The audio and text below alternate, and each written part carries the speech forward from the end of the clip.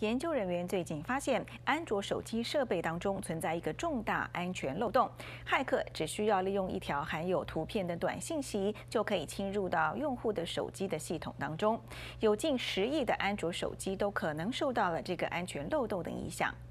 根据了解，当骇客向安卓手机发出短信息之后，手机使用者甚至都不需要查看信息，骇客就可以侵入手机使用者的系统中，并且完全的操控手机。而手机使用者在此过程当中，完全不会察觉手机有异常的情况。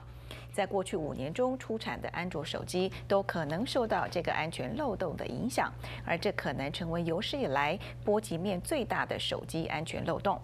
最初发现这个漏洞的网络安全公司 z i m p e r i u m 表示，他们在三个月前发现了这个问题，并且向谷歌公司负责安卓系统研发的人员汇报，但谷歌却一直没有采取行动。